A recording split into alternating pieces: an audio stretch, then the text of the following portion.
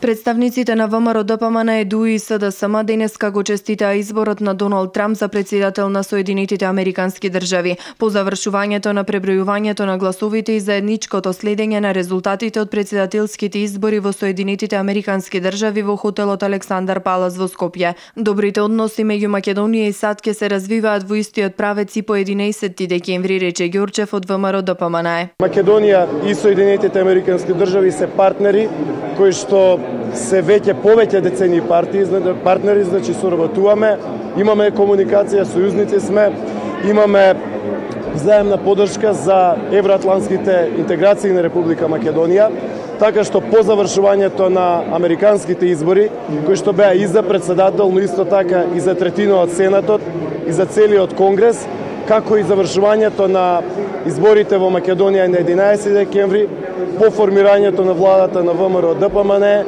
ќе пристапиме во она што се нарекува одржување, развивање и пролобочување на односите помеѓу двете држави, двата народи и двете влади. Сега е важно кој ќе биде државен секретар и како ќе биде дефинирана надворешната политика на САД, изјави подпредседателката на СДС Маше Керинска. Трамп е изненадување Соединетите Американски држави немаат по прв пат жена за председател, дополни таа. Ова беа едни од најинтересните и најнепредвидливи избори во Соединетите Американски држави. Како жена не можам да кажам дека не жалам што една од најмоќните држави во светот не ја доби првата жена председател. Но американските избори покажаа две важни работи. А тоа е дека дури и големата медиумска поддршка на одредени кандидати и одредена политичка партија не е доволна кога граѓаните бараат промени.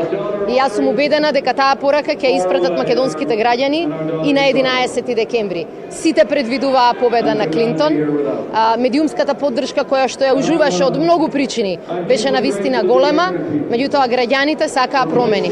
Граѓаните на Република Македонија ќе испратат истата порака, дека е доста од 10 годишно пропаѓање и тонење на државата и дека сакаат нешто различно. И за Дуи традиционално пријателските врски со Вашингтон продолжуваат и ќе се продлабочуваат. Соединетите Американски држави и Македонија се партнери и сојузници вели груби. Би сакат да им честитам на нашите пријатели во САД и убеден сум дека надворешната политика на најголемата, најсилната демократија а, во светот нема да се промени наспроти а, Балканот, наспроти Западниот Балкан и секако не наспроти Македонија. Ние ќе останеме силни пријатели, алеати и заедно ќе чекориме кон а, интеграција на земјата во НАТО и во Европската Унија. Двете држави веќе 25 години ги одржуваат одличните дипломатски релации. Во 2008 година е подпишан и билатералниот договор за стратегиско партнерство, кој Вашингтон го имаше парафирано до тогаш единствено со Израел и Јапонија. Соединетите Американски држави досега преку УСАИД имаат инвестирано над милиарда долари во земјава.